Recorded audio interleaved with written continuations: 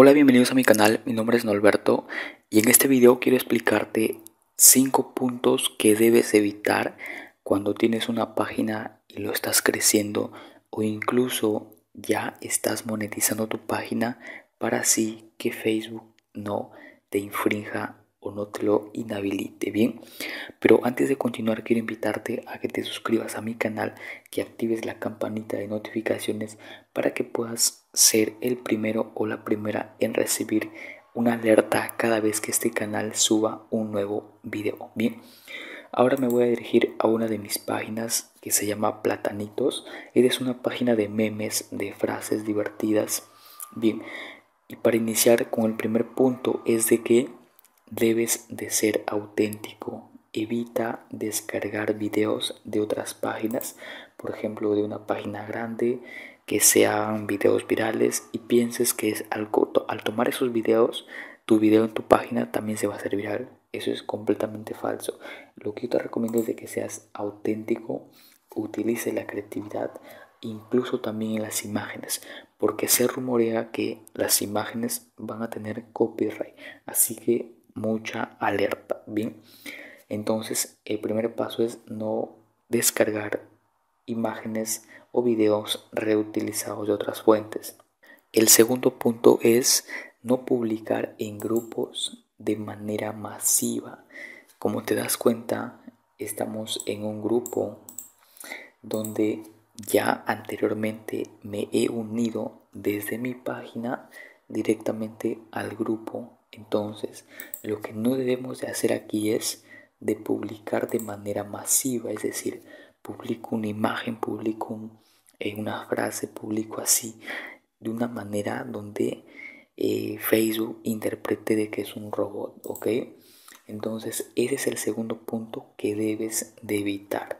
Si lo estás haciendo, calma, tranquilízate, ordena el tiempo de publicaciones según el final de este video que te voy a dar algunos tips que te van a ayudar muchísimo.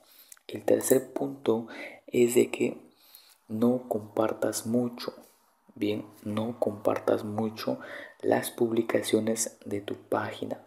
El punto anterior fue no publicar en el grupo directamente de manera masiva. El tercer punto es no compartir, es decir, no darle clic en este botón de compartir y empezar a hacer spam en todos estos grupos. Debes de hacerlo de una manera moderada. Me estarás preguntando, ¿y cuántas o veces es una manera moderada? De dos a tres veces al día como máximo. Pero teniendo en cuenta de que no debes utilizar el perfil que administra la página. Debes de decirle a un amigo, a tu mamá, a tu papá, a tu hermano, a cualquier persona conocida que te ayude en la distribución de tu contenido en grupos, ¿ok? Ese es el tercer punto. El cuarto punto es de que debes respetar al momento que tú creas contenido, debes de respetar las políticas o en este caso las normas comunitarias. Y me estarás preguntando, Norberto, ¿dónde encuentro las normas comunitarias donde me explique lo que no debo de hacer? Muy bien, no te preocupes. Después de ver este video vas a ir directamente al enlace que está en la descripción del video donde diga normas comunitarias. Dale clic a ese enlace y te llevará a esta página donde vas a poder leer todas las políticas que el mismo Facebook te lo da para que así evites que te bloqueen, que te hagan spam o que te inhabiliten. Y la quinta y la última, que es también importante según mi experiencia, es de que no lleves tráfico hacia otros sitios web. como así? Si tú tienes un canal de YouTube o tienes un blog o una página web, no lleves el tráfico porque Facebook al momento que ve eso o que sus algoritmos detectan eso, el alcance lo baja demasiado. De repente te estarás preguntando, ¿y por qué baja el alcance demasiado eso? ¿O por qué hace Facebook eso?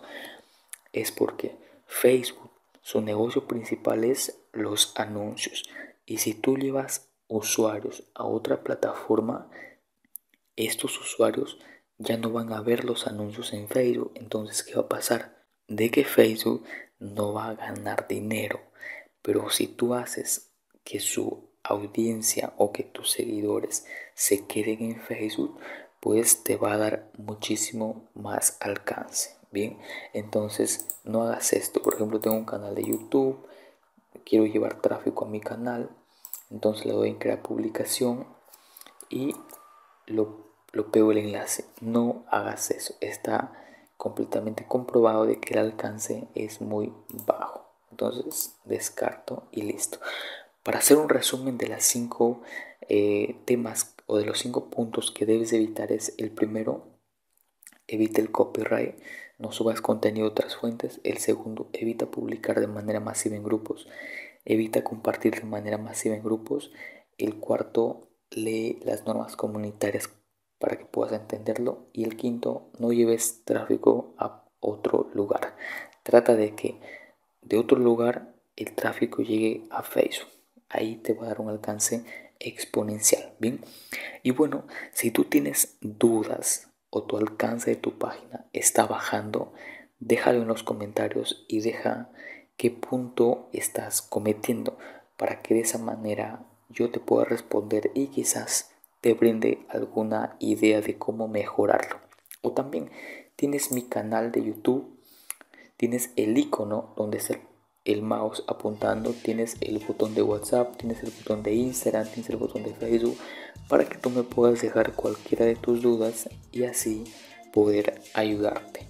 Y bueno, espero que te haya ayudado, espero que hayas entendido este tema, espero que puedas ponerlo en práctica, que es lo más importante, y nos vemos en el siguiente video.